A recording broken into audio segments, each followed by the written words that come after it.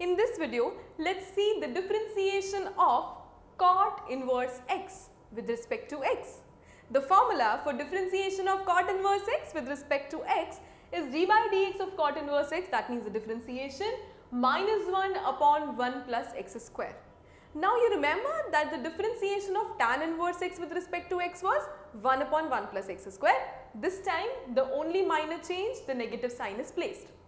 Similarly as compared to the previous videos, similarly like the previous videos, let's see the proof of this formula also. So I give the heading as proof and I start with proving it basically cot inverse x is the function. So let's start with substituting cot inverse x is equal to y. So I say that let y is equal to cot inverse x. Now taking cot both sides it is cot y which is equal to cot cot inverse x. They nullify so it becomes equal to x. This is your equation number 1. Even this equation may be needed uh, for later steps. So let's name this as equation number 1 and this is equation number 2 so that it becomes easier for us to substitute later on.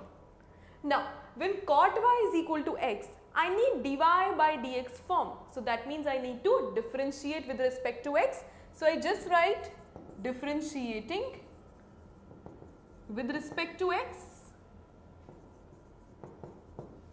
What is it here? Cot y. Cot differentiation is minus cosecant square. y will remain. Now what is by chain rule the differentiation of y? Because you started with cot, you saw y also. So it is dy by dx. What is the differentiation of x with respect to x? Nothing but 1. So what is dy by dx from here?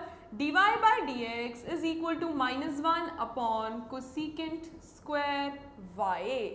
and cosecant square y has some relation with cot square? Yes it has. Let me write the formula cosecant square y minus cot square y is equal to 1. Now what is cosecant square y value from here? Cosecant square y is equal to 1 plus cot square y. So basically we are going to use this. So let's name this as equation number 3 and when we have 1 and 2 after that we have 3. So I write here from 3 from 3 my dy by dx from 3 my dy by dx is equal to minus 1 upon cosecant square y is 1 plus cot square y. Now this is not completed by far now because we have some more substitutions. What is y? y from 1 is cot inverse x. What is cot y? Cot y from 2 is x.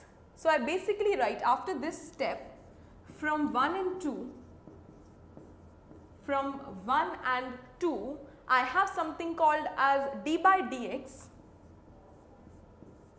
of y. y is what? y is cot inverse x is equal to minus 1 upon 1 plus cot square y or cot y whole square. What is cot y? From 2 is x. So it is x square. Let's place this in a box. So it is nothing but d by dx of cot inverse x is equal to minus 1 upon 1 plus x square, the formula of derivative of cot inverse x with respect to x.